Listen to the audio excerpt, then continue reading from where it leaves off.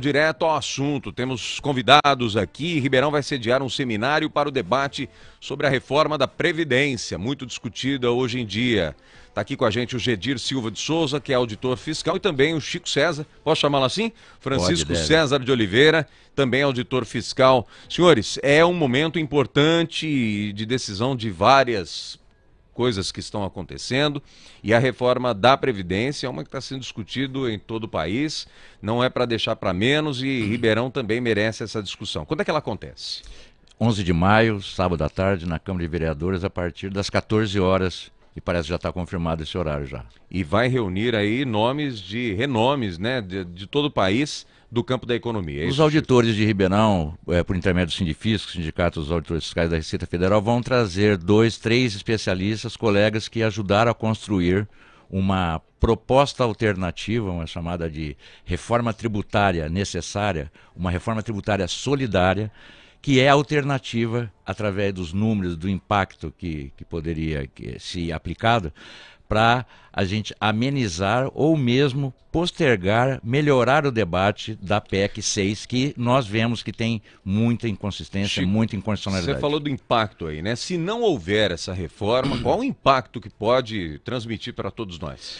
É, veja só, a questão do impacto dela é, tem sido divulgado que o país quebra se não houver a reforma da Previdência. Exatamente. Os auditores vão demonstrar neste evento que a Previdência não quebra e que o que está sendo disputado e discutido hoje no país é uma mudança da interpretação da Constituição e do modelo de Estado que o Pacto Social conseguiu fazer na Constituição de 1988 e que está sendo desestruturado desde outras reformas que já aconteceram, como a trabalhista, como a terceirização de serviços públicos, como a PEC do teto dos gastos, a emenda complementar 95-2016, com congelamento né, de, de, de orçamentos da, da, da, da, educação, da saúde, segurança, enfim. Então, o, o contexto que nós queremos apresentar nesse, é, nesse evento, nesse seminário, é um contexto que nós temos alternativas. O GEDIR, inclusive, tem algumas informações mais básicas sobre essa questão da Constituição Federal também. Exatamente. Gedir, é,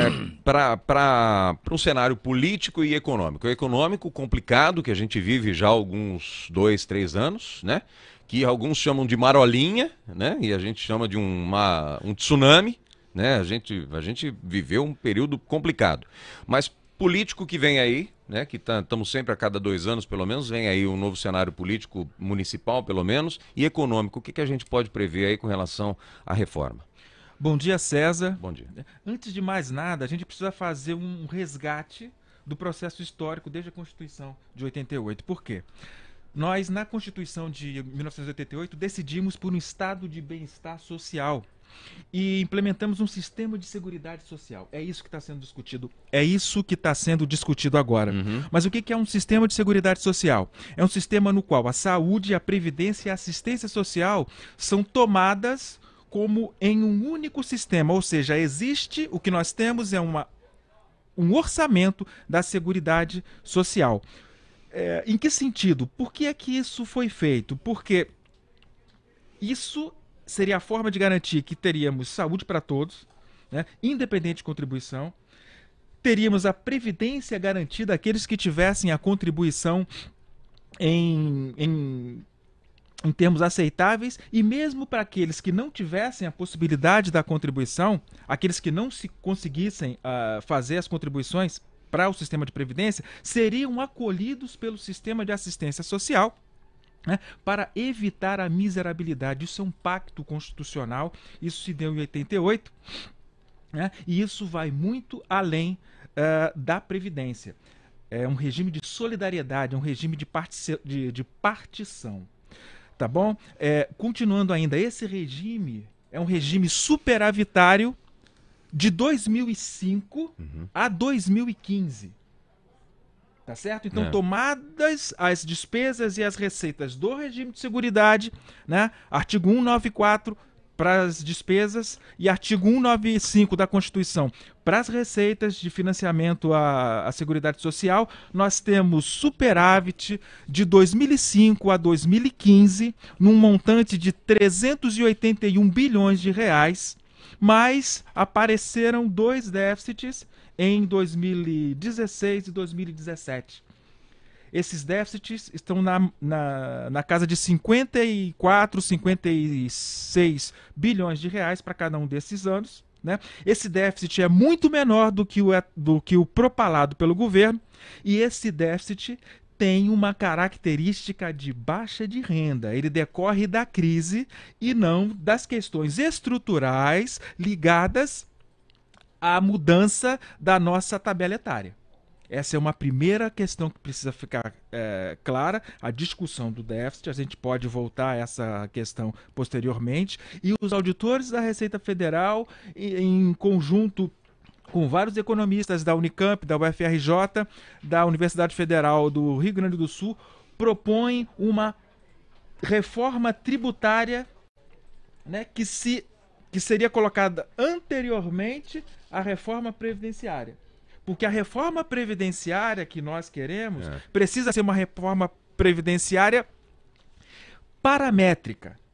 E a que está sendo proposta é simplesmente a quebra do pacto constitucional com a colocação do regime de capitalização. Dá para se ter uma prévia do que vai acontecer com as aposentadorias? Já é possível a gente prever o que vai acontecer aí na frente? Porque pre... o nosso, nosso público fica interessado aqui. Aliás, essas perguntas podem surgir aí a qualquer momento ah, e liberado, inclusive no 99211-2125, nosso WhatsApp. É, é uma preocupação muito, muito grande todo mundo, né? Todo mundo fala, agora eu não vou me aposentar mais. Como é que fica essa situação, Chico? Olha, é, vou dar só um dado. É, a proposta do governo, por exemplo, para a aposentadoria dos trabalhadores rurais, eleva de 55 anos para 60 anos a, a idade mínima da mulher do campo. Tá. E, é, no caso, vai equiparar a, ao homem. Os trabalhadores rurais terão que ter 20, 20 anos de é, contribuição. Então você imagina a dificuldade de um trabalhador rural em comprovar 20 anos. Isso, essas dificuldades é, é, e outras situações que estão na PEC vão efetivamente, porque nós temos uma regras draconianas de e quando tem a transição ela é draconiana. Quando não tem, e o grande problema é esse, é que o governo quer tirar da Constituição essas regras que deram, que deram sustentação e que a gente imaginava que a gente, por dever de qualquer cidadão brasileiro, cumprir a Constituição e dar continuidade à manutenção desse pacto social de 1988.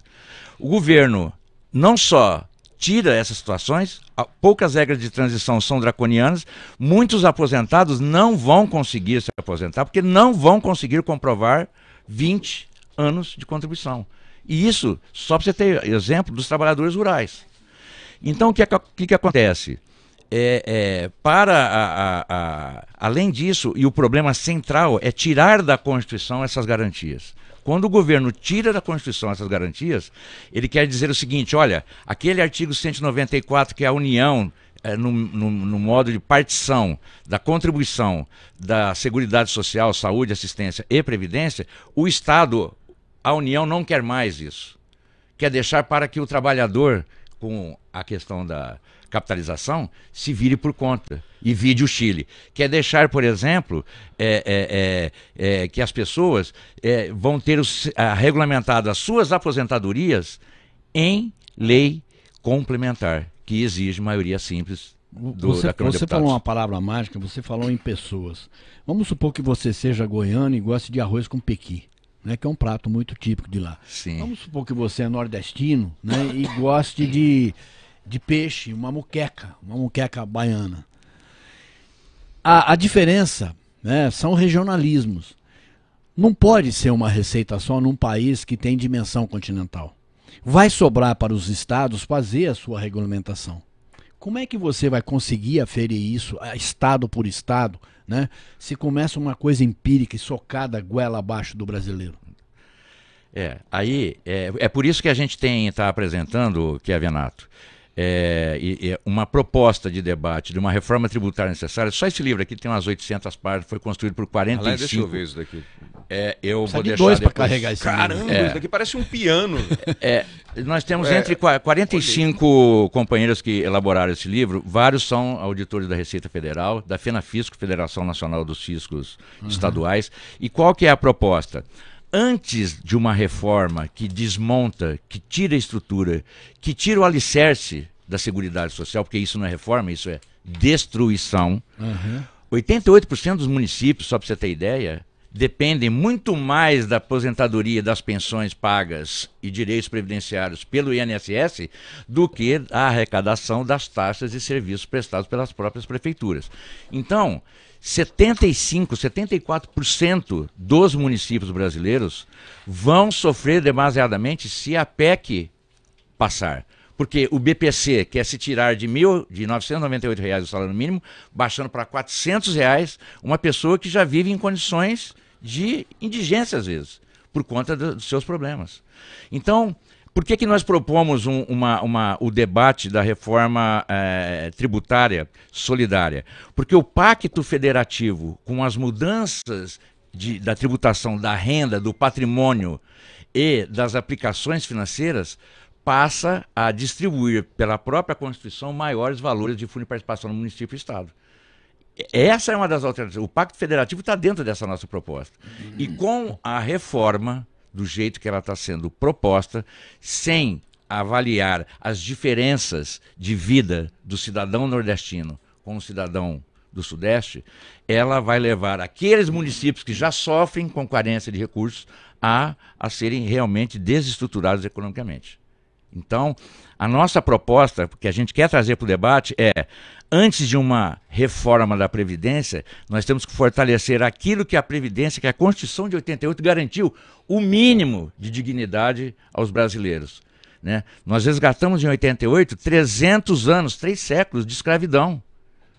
Por isso que a assistência social paga aposentadoria para os trabalhadores rurais. Deixa eu, deixa eu só, só fazer uma pausa aqui. O Odair Graça está dizendo o seguinte: é, bom dia, que bom vocês debaterem sobre a Previdência, porque tem mídias, em vez de explicar, complicam mais. E com vocês estou começando a entender melhor. Olha aí a, a possibilidade de vocês estarem aqui.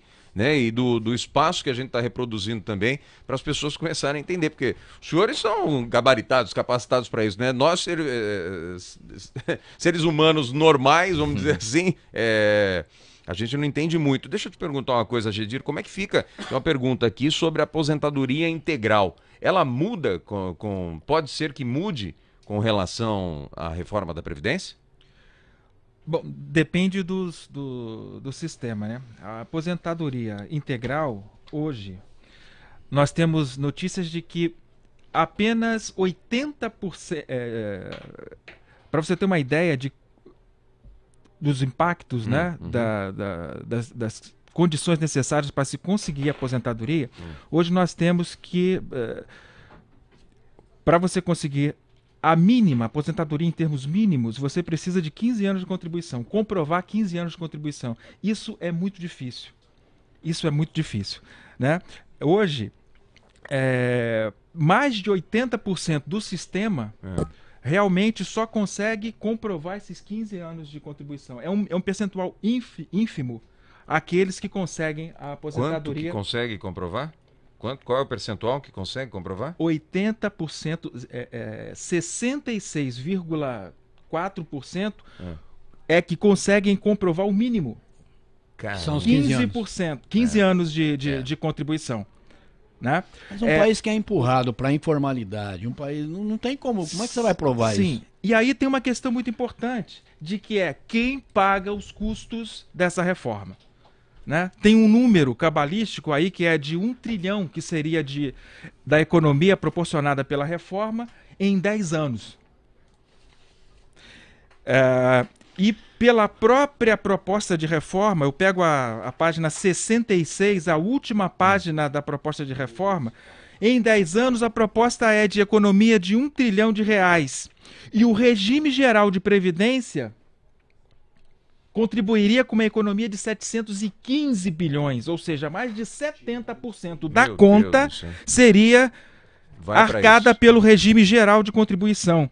E como eu disse, apenas 68% em dados do próprio em dados do próprio governo que está aqui em um folder distribuído pelo governo, nós temos que, como eu disse, 66,5% dos beneficiários se aposentam com até um salário mínimo. E 83,4% recebem até dois salários mínimos. São essas pessoas que são 83,4% do, do, dos beneficiários do sistema previdenciário é que vão marcar com 70% dos custos Quando eu vejo números alarmantes bi- bi- da reforma tributária, esta- da reforma como esse da reforma previdenciária. previdenciária, eu começo a entender a manchete da Folha no, no domingo ou na sexta-feira. Foi no feriado, acho que de sexta-feira. Ou foi no domingo mesmo. Que coloca exatamente isso. O governo decretou segredo de Estado. Você não pode saber aquilo que ele está propondo, você não pode entender o que é que ele está fazendo com o nosso dinheiro, o que é que ele está fazendo com a receita que nós antecipadamente damos a ele. Ô, vocês viram, devem ter visto essa manchete, devem ter visto esse alarde que o governo fez. Agora é segredo de Estado, não, não- não se discute mais isso. Quer dizer, a, a que ponto nós chegamos? Que raio de governo é esse? Que raio de comando político que nós temos para. Não passa na garganta, é um espinho que tem aqui e vai ficar por um longo tempo. Senhores, deixa eu. eh, eu vou ter- nosso tempo está bem curtinho agora. O André Rodrigues pergunta ali. Bom dia, Caparelli. Kevenato pergunta para os senhores aí ah, o que a ABO. É isso? Pensa sobre isso. E eles vão ser chamados para debater com os deputados e senadores. Eu- desculpa, eu não desconheço. Eh, Pode me ajudar aí? Eu, eu, é, alguma- eu também, a, a- quanto a, O que a a instituição, a instituição eu, eu não saberia responder. O que eu posso dizer, aproveitando aquilo que o, que o Cavenato disse agora, que, que é, está mantido em segredo os números, e a gente quer debater e a gente não recebe os números. E a gente diz claramente, e a Anfip, a Associação Nacional dos Fiscais da Previdência, hoje, auditores fiscais da Receita Federal do Brasil, vou dar uns números. Em 2007 eram 4.200 auditores da Previdência que vieram para a fusão da chamada Super Receita. Hoje nós temos menos de 800 auditores com expertise de Previdência. Caramba. E menos de 200 auditores estão fiscalizando regimes próprios hoje e Previdência. Eh, Então, o que se faz, o que está sendo feito é dar de ombros para o Estado. O Estado não tem mais a responsabilidade. O que quer se fazer com a Constituição é, é deixar o segurado por conta e risco próprio. A Anfip protocolou ontem um pedido e é, tornou público esse pedido e foi respondido que não haveria entrega desses números. Então nós estamos precisando dos números que o governo diz. Porque se o problema são os servidores públicos, como nós, do regime é, é, é, é, previdenciário é, dos servidores, então discutam, é, que, que a, que a disputa seja feita com os servidores, mas não colocar o regime geral para pagar a conta de 70%, 80% de uma economia cujos números, os documentos técnicos que embasam esses números, a gente não recebe. Então a gente traz livros, apostilas, estudos, horas, centenas, milhares de horas de trabalho em documentos que a gente pode provar, e eu vou deixar aqui com você, que é a análise da Seguridade Social, que é um balanço que ótimo. da Anfip, da Associação dos Fiscais da Receita Federal com expertise na Previdência, onde a contabilidade oficial, nos termos da Constituição de 88, e nós temos ainda uma Constituição que precisa ser respeitada, ainda que alguns não queiram, então a contabilidade oficial da Seguridade Social está feita pela Anfip e eu deixo esse livro, esse caderno com vocês. E nós, te, nós estamos, vamos fazer uma proposta, então, como eu disse, da reforma é, é, é, tributária solidária, onde, só para vocês terem ideia, no imposto de renda, tributando mais a renda, nós vamos trazer mais 350 bilhões e desonerar 300 bilhões.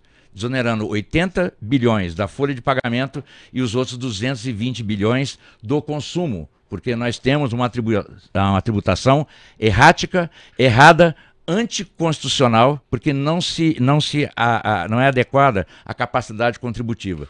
Todos nós brasileiros sabemos que quem tem muito concentra a renda e paga muito pouco. Então a tributação nossa vai incidir sobre as 720, 750 pessoas mais ricas do país. E uma nova tabela de imposto de renda, onde 4 a 5 salários mínimos serão desonerados. Se hoje o governo vier a informar que vai ter 30 milhões de pessoas que vão declarar imposto de renda, a nossa proposta exonera 15 milhões de entregar a declaração. Ô Chico, rapidamente, o Pastova pergunta ali, as famílias serão prejudicadas, pois as, se soma de uma aposentadoria e uma pensão não poderá ultrapassar dois mil reais. Então o cônjuge perde o ente e a família perde seus rendimentos? Gedir, Chico, rapidamente um minutinho, por favor. Gedir, consegue? É, tem uma, uma tabela que. Deixa eu procurar aqui para ver se eu consigo achar. E que determina que a, até um salário mínimo hum. você vai conseguir acumular 80% da pensão e salário. Né? A partir daí você vai tendo é, percentuais menores né, para acumular e acima de dois salários mínimos você não mais acumula a pensão do seu cônjuge com a sua aposentadoria. Ok, senhores, eu estou em cima da hora, precisamos encerrar, mas eu queria que vocês deixassem um site. Existe um site que as pessoas, porque tem, tá chovendo ali, o Odair de novo, o Eduardo Kiel, tem várias perguntas ali e as pessoas para se consultar ou diretamente com os senhores. É, eu só, eu vou aqui me despeço, agradeço a, agradeço, ao César, ao que Vamos voltar, viu, Chico? A gente é, precisa marcar é, um dia mais, mais amplo, viu, Gedir? Voltar com alguns assuntos específicos. Pode ser? Pode. A gente e, e trazer aqui uma proposta assim, por exemplo, para o imposto de renda. Qual é a proposta ótimo, dos auditores fiscais? Ótimo. Nós temos Excelente. até, é, é, nós temos assim, esse livro, ele é muito interessante porque é, ele tem um, um corolário, tem, tem um, um, situações muito interessantes para a gente divulgar. Vamos lá. Eu, então, agradeço a oportunidade. 11 de maio, Câmara de Vereadores às 14 horas. Seria importante. Esse né? seminário vai ser extremamente importante. Todo mundo pessoas... pode participar? Nós estamos convidando e convocando todos os sindicatos, professores, Legal. metalúrgicos, químicos, principalmente aposentados pensionistas do regime geral porque nós vamos demonstrar que eles, mais uma vez, vão pagar a conta. Legal. E que quando o governo fala que há privilégios, esse, esses privilégios, a própria PEC 6 de 2019, ela desmascara aquilo que é dito pela, pela, pelas letras garrafais das manchetes do dia a dia. Gedir, um obrigado. abraço. Obrigado pela presença também. Obrigado, Chico, imensamente. Honrado com a presença só, só de vocês fazer um aqui. Comentário rapidíssimo pois aqui. Não. É, saber falar, saber colocar é uma arte. Agora, saber ouvir, saber entender é muito melhor. E tem gente que não consegue ouvir, né? Eu, eu tava pegando um, um bilhete de, de WhatsApp ali, ai, tem que ouvir a contradita. Lógico que sim, ô imbecil, mas tem que vir aqui alguém do governo para explicar. Chama alguém do governo e manda explicar aqui pra gente. Vê se vem. Vê se tem alguma coisa para explicar. A não ser através dos, das chapas brancas oficiais. Pombas. Okay. Me irrita esse tipo de burrice. Eu não gostaria de ter ouvinte. Vamos lá. 10 horas em ponto. Obrigado, Chico. Obrigado, Gedir.